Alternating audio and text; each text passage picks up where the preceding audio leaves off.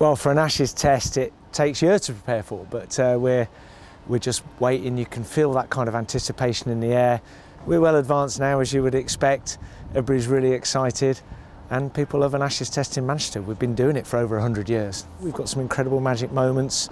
You know, Warne's Ball of the Century, that's 30 years anniversary this year, which is incredible, really. We've sold double the hospitality this year than we did 10 years ago for the 2013 Ashes. We'd sold all general admission tickets days one to four before Christmas. We've already sold just under 17,000 tickets for day five, which again is unprecedented. You would have seen the first test the other day. Sadly, not the right result for England, but what a match that was. If I measure it by the number of text messages, WhatsApps, telephone calls I've had since the game that we just lost as England, imagine if we'd have won that game. The interest in the Ashes, and particularly this year, there's not been anything like this since 2005, I don't think, in terms of cricket. Tell me about the new development, particularly this behind us. How does that extend the capacity and, and, just enhance the ground as a whole? We're very excited about the new hotel extension. It takes us from 150 bedrooms in the existing Hilton to 250 bedrooms. We've got a 180 cover restaurant. We've got a new stand of about an extra 1,000 seats, a full 9,000 seat party stand buzzing as well.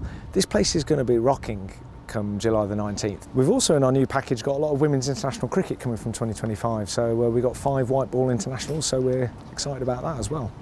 What's your standout memory of the last time the Ashes came here, 2019? Because there was such a huge buzz around the place, wasn't there? It was just the joy on people's faces, and I think for me it was just that atmosphere across that Test match was just.